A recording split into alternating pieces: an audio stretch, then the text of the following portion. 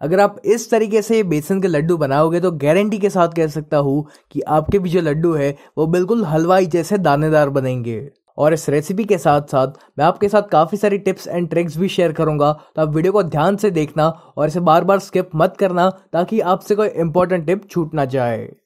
तो बेसन के लड्डू बनाने के लिए पहले आपको लगेगी बूरा चीनी। तो इस बूरा चीनी को हम घर पर ही बनाएँगे। तो इस बूरा को बनाने के लिए पहले आपको एक पैन में या फिर एक कढ़ाई में लेनी है दो कप चीनी, फिर हमें इसमें ऐड करना है तकरीबन तीन चौथाई कप या फिर एक कप जितना पानी। अब गैस की फ्लेम को हाई पे रख कर आपको इस चीनी को पूरी तरीके से पिघलने देना है। ये बूरा हम इसलिए बना रहे हैं ताकि हमारा भी जो लड्डू है वो बिल्कुल हलवाई जैसा दानेदार, टेस्टी और एकदम परफेक्ट बन सके। बुरा की जगह पर आप पीसी हुई चीनी का भी इस्तेमाल कर सकते हो, लेकिन उसका वो टेक्सचर और टेस्ट नहीं आएगा। तो मैं रेकमेंड करूँगा कि आप भी पीसी हुई चीनी की जगह पर ये बुरा चीनी का इस्तेमाल करें। जैसे कि आप देख पा रहे हो कि हमारी ये जो चाशनी है, इसमें अभी भी थोड़े से शुगर के क्रिस्टल्स बाकी है तो इसको हम थोड़ी देर और पिघलने देंगे। जब चीनी पूरी तरीके से पिघल जाए, तब हमें इस चाशनी को साफ़ करना है। तो इस चाशनी को साफ़ करने के लिए मैं इसमें दूध का इस्तेमाल कर रहा हूँ। तो मैंने इसमें तकरीबन एक चम्मच दूध का इस्तेमाल किया हुआ है और इसमें दूध डालने के बाद आपको इस चाशनी में एक बार उबाल आने देना है और जैसे ही इसमें उबाल आएगा तो इसमें जो भी कचरा है ना, वो इस पैन के किनारों पर आ जाएगा। अब एक चाय की छन्नी की सहायता से इस चाशनी के अंदर जो भी गंदगी है, उसको हमें निकाल लेना है। ये स्टेप करना काफ़ी ज़रूरी है ताकि आपकी जो चाशनी है, वो अच्छे से साफ़ हो जाए। अब इस चाशनी को आपको तब तक पकाना है जब तक ये एकदम ही गाढ़ी नहीं हो जाती और इसका जो रंग है, वो भी एकदम ही सफ़ेद नहीं हो जाता।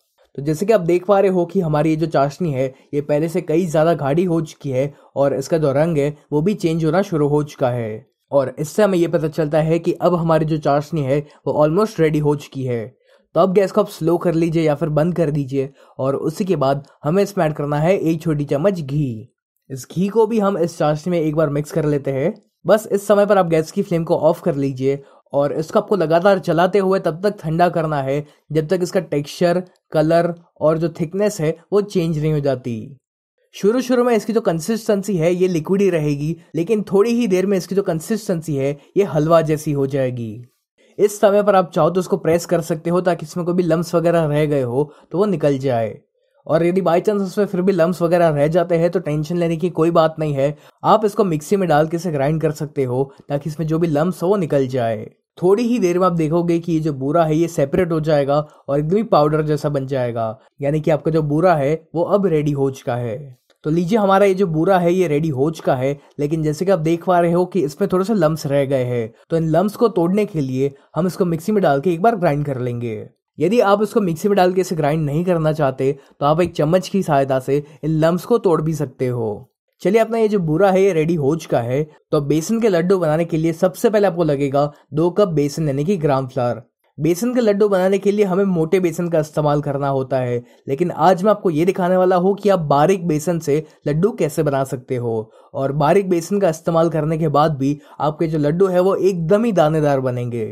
तो बेसन को दानेदार बनाने के लिए आपको इस बेसन को एक परात या फिर एक मिक्सिंग बोल में ट्रांसफ़र करना है।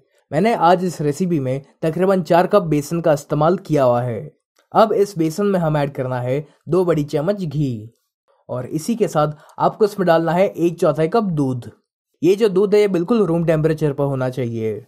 और बस इन सभी को हमें अच्छे से मिक्स करना है। और फिर हम क्या करेंगे कि हम दोनों हाथों से इस बेसन को, घी को और दूध को इस तरह से मिक्स करेंगे। ये जो टेक्निक है, इसको हम गुजराती में कहते हैं धाबा देना। तो इसी टेक्निक से हमारा ये जो बेसन है, ये एकदम ही दानेदार बनेगा। और आपको मोटा बेसन इस्तेमाल करने की कोई ज़रूरत नहीं पड़ेगी। तो दोनों हाथों के बीच में इसे रख कर आपको इसको अच्छे से मसलना है। इसको अच्छे से मिक्स करने के बाद आपको इस प्रकार की एक जाली का इस्तेमाल करना है। मैंने मीडियम साइज़ की जाली का इस्तेमाल किया हुआ है और अभी जो बेसन है, इसको हम इस जाली में ऐड करेंगे और फिर हम इसको छानना है। चलिए, मैंने इस बेसन को छान लिया है और अब जैसे कि आप देख पा रहे हो कि हमारे जो बेसन है, ये अभी से ही काफ़ी दानेदार बन चुका है। इसके बाद मैं आपके साथ एक और टेक्निक शेयर करूँगा, जिससे कि आपको जो बेसन का लड्डू है, वो और भी ज़्यादा दानेदार बनेगा। तो ये जो भी छोटी मोटी टिप्स मैं आपके साथ शेयर कर रहा हूँ, इसको आप ज़रूर फॉलो करिएगा, ताकि आपके भी जो लड्डू है, वो एकदम ही हलवाई जैसे परफेक्ट बन सके। अब आपको एक बड़ी सी कढ़ाई में लेना है एक कप घी। ध्यान रहे, आपको जमे हुए घी का इस्तेमाल करना है। यदि आप पिघले हुए घी का इस्तेमाल कर रहे हो तो फिर आपको थोड़ी सी ज़्यादा घी का इस्तेमाल करना पड़ेगा। घी जब मेल्ट हो जाए, तब जो बेसन को हमने छान कर रखा हुआ था, वो हमें इसमें ऐड करना है। शुरू शुरू में आपको लगेगा कि जो घी की क्वांटिटी है वो काफ़ी कम है, लेकिन ऐसा ज़रा भी नहीं है, क्योंकि इसमें से धीरे धीरे जो घी है वो छूटने लगेगा, और अगर आपने इसमें बहुत ज़्यादा घी ऐड कर लिया तो एंड में आपका जो मिश्रण है, वो बहुत ही लिक्विड ही होगा, और फिर आप उसमें से ठीक से लड्डू भी नहीं बना पाओगे। ये जो बेसन के लड्डू हम बना रहे हैं, इनको बनाना थोड़ा सा ट्रिकी है, क्योंकि शुरुआत में हमें ऐसा लगता है कि घी की क्वांटिटी काफ़ी कम है और हम और ज़्यादा घी ऐड करते हैं और फिर एंड में ये जो मिश्रण है, ये बहुत ही लिक्विडी हो जाता है, जिससे कि आप इसमें से लड्डू का शेप नहीं बना पाओगे। तो इसलिए मैंने शुरुआत में सिर्फ़ एक कप घी का इस्तेमाल किया है और अगर बाई चांस हमें लगा कि हमारा जो मिश्रण है, वो बहुत ही ज़्यादा ड्राई है तो हम एक या दो चम्मच और घी का इस्तेमाल करेंगे। अब आती है बेसन के लड्डू बनाने की सबसे इम्पोर्टेंट चीज़, और वो ये है कि आपको इस बेसन को अच्छे से भूनना है। बेसन को आपको तब तक भूनना है जब तक इसका जो कलर है, वो हल्का सा चेंज नहीं हो जाता, और इसमें से एक बढ़िया सी खुशबू नहीं आने लगती। इस बेसन को हमें स्लो फ्लेम पर ही भूनना है। यदि आप इसको हाई फ्लेम पर भूनने जाओगे तो आपको दो प्रॉब्लम्स हो सकती है। पहली प्रॉब्लम तो ये होगी कि जो बेसन है, वो जल सकता है। और दूसरी प्रॉब्लम ये है कि यदि आप इसको हाई फ्लेम पर भूनोगे तो जो बेसन का कलर है, वो फटाफट से चेंज हो जाएगा। लेकिन जो बेसन है, वो कच्चा रह जाएगा। और जब आप लड्डू खाओगे तो जो बेसन है, वो आपके मुँह में भी चिपकेगा और आपको बेसन का कच्चापन महसूस होगा। तो जल्दबाजी ना करें, इसको आराम से स्लो फ्लेम पर सेकिए। इस बेसन को स्लो फ्लेम पर अच्छे से सीखने में तकरीबन 25 से 30 मिनट लग सकती है। एक और बात का आपको ध्यान रखना है और वो ये है कि आपको इसको लगातार चलाते जाना है ताकि ये कहीं पर जल ना जाए। मानता हूँ कि इस बेसन को भूनने में काफ़ी ज़्यादा टाइम लगता है, लेकिन यकीन मानो कि आखिर में जब ये दानेदार लड्डू बनकर रेडी हो जाएँगे तो आपके घर वाले आपकी तारीफ़ करते नहीं थकेंगे। आज तो हम ये बेसन के लड्डू बना रहे हैं, लेकिन आपको और कौन से कौन से लड्डू की रेसिपीज़ देखनी है, ये आप मुझे कमेंट करके ज़रूर बताएँ, ताकि मैं आपके साथ बहुत सारी रेसिपीज़ जल्द से जल्द शेयर कर सकूँ। इसको 15 या 20 मिनट भूनने के बाद भी अगर आपको लगता है कि ये अभी भी काफ़ी ड्राई है तो आप इसमें एक चम्मच घी और डाल सकते हो। और इस समय पर आप चाहो तो इसमें कोई भी फ़ूड कलर डाल सकते हो। मैं इस लड्डू को नेचुरल ही रखना चाहता हूँ तो इसलिए मैं इसमें कोई भी फ़ूड कलर का इस्तेमाल नहीं कर रहा। तकरीबन 20 या 25 मिनट हो चुकी है, और अभी जो बेसन का रंग है, ये भी हल्का सा चेंज होना शुरू हो चुका है। तो अब इसको मैं और पाँच मिनट के लिए सेक रहा हूँ। अब इस बेसन के लड्डू को और भी ज़्यादा दानेदार बनाने के लिए हम क्या करेंगे कि हम इसमें थोड़ा सा पानी छिड़केंगे। पानी छिड़कने से क्या होगा कि ये जो बेसन है, ये थोड़ा सा फूल जाएगा और इसी से आपका जो बेसन का लड्डू है, वो और ज़्यादा दानेदार बनेगा। तो अगर आप भी मेरी तरह बारीक वाले बेसन का इस्तेमाल कर रहे हो तो आप ये स्टेप ज़रूर करना। तकरीबन आधा घंटा हो चुका है और ये जो बेसन है, इसमें से काफ़ी बढ़िया सी खुशबू आना शुरू हो चुकी है। इसका जो रंग है, वो भी चेंज हो चुका है। यानी कि अब ये जो बेसन है, ये अच्छी तरीके से सीख चुका है। तो अब आप गैस की फ्लेम को ऑफ़ कर लीजिए और गैस की फ्लेम को ऑफ़ करने के बाद भी आप इसको लगातार पाँच मिनट के लिए चलाते जाइए, क्योंकि अभी भी आपका जो पैन या कढ़ाई है, वो गर्म है और यदि आप इसको नहीं चलाओगे तो ये जो बेसन है, ये जलने लगेगा। या फिर आप एक और चीज़ कर सकते हो कि आप इस बेसन को किसी एक थाली में या फिर एक बोल में ट्रांसफ़र कर लीजिए।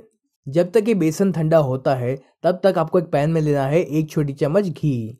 अब मैं इसमें कुछ ड्राई फ्रूट्स ऐड कर रहा हूँ तो मैंने लिया है थोड़ा सा बादाम थोड़ा सा काजू और पिस्ता।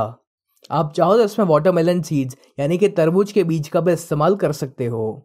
और इन ड्राई फ्रूट्स को हम घी में इसलिए भून रहे हैं, ताकि इसका जो तो फ्लेवर है, वो और बढ़िया है इनको आपको तब तक भूनना है, जब तक इसका जो तो कलर है, वो हल्का सा ब्राउन नहीं हो जाता।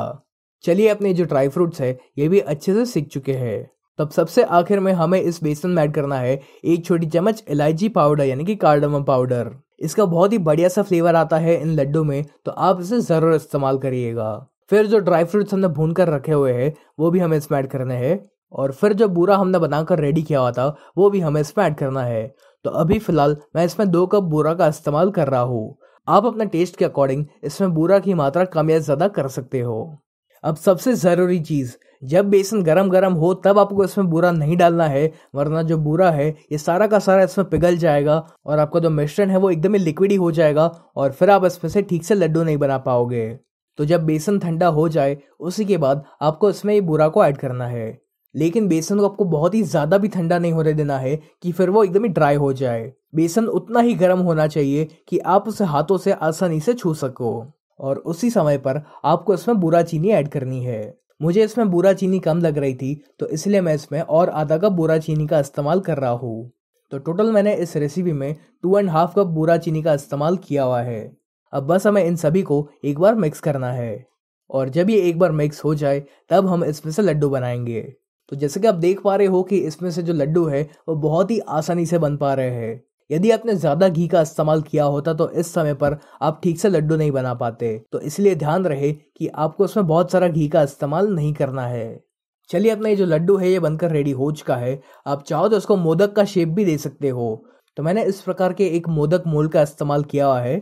और लीजिए हमारा ये जो बेसन का मोदक है, ये भी रेडी हो चुका है। और ठीक इसी प्रकार से आपको बाकी सारे लड्डू या मोदक बनाकर रेडी करने हैं। और इनको गार्निश करने के लिए मैंने इसके ऊपर थोड़ा सा पिस्ता लगाया हुआ है। तो कैसी लगी आपको ये दानेदार बेसन के लड्डू की रेसिपी और आपको और कौन सी कौन सी मिठाई की रेसिपीज़ देखनी है, ये आप मुझे कमेंट करके ज़रूर बताएँ।